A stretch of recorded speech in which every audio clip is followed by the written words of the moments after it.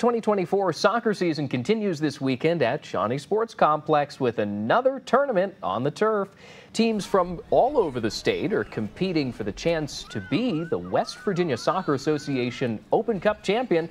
Students under 8 through under 19 age groups play in at least three games in both competitive travel and recreational levels. Now, this is bringing another event to an already busy Kanawha Valley. It is pretty packed here today. This is the first time in a long time we have over 100 teams that are participating in this event. We're super excited to have that come to Charleston and uh, be able to support the area businesses and uh, just be able to give these kids an opportunity to play against different teams that they don't see during the regular season.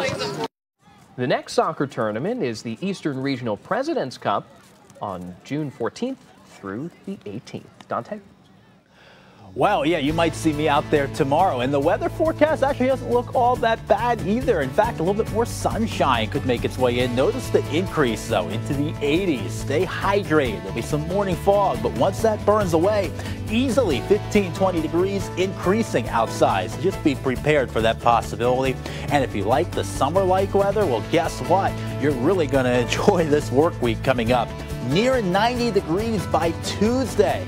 That's definitely not what we're ready for this time of the year, but this summer-like pattern does also bring us some more conditions of thunderstorms and rain. And we'll time out those risks for you here coming up in just a bit.